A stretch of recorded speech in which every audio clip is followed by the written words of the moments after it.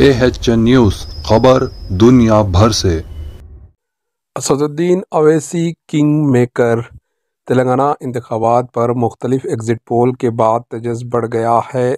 बाज़ exit poll में कांग्रेस को सबाकत हासिल है तो कुछ एग्ज़िट पोल में बी आर एस का मौक़ ताकतवर बताया जा रहा है। तो बाज़ में कांटे का मुकाबला बताया गया। इन सब के दौरान ये क़ियास आरियाँ भी की जा रही है कि नतज के बाद Kul Hind Majlis Ittehadul Muslimeen M I M का मौक़ क्या होगा?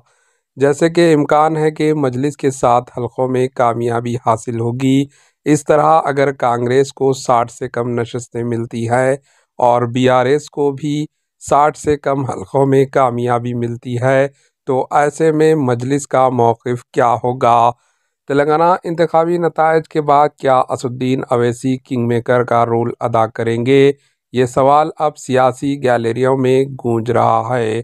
इसके अलावा ये सवाल भी सियासी हलकों में गर्ज कर रहे हैं कि अगर कांग्रेस की ज़रूरत पड़ने पर क्या मजलिस इसकी मदद करेगी?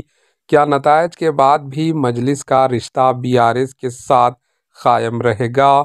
और अगर ऐसा होता है तो मजलिस हुकूमत में साथ रहेगी और मजलिस के कितने अरकान असम्बली वज़ीर बनेंगे? क्या अकबरुद्दीन अवैसी को वज़ी दाखिला बनाया जाएगा? इस तरह के सवाल फ़िलहाल आवाम के जहनों में हैं।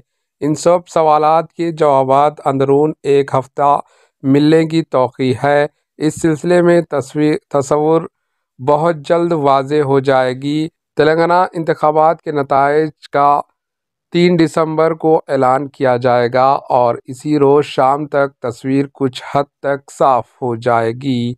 Bureau report H news.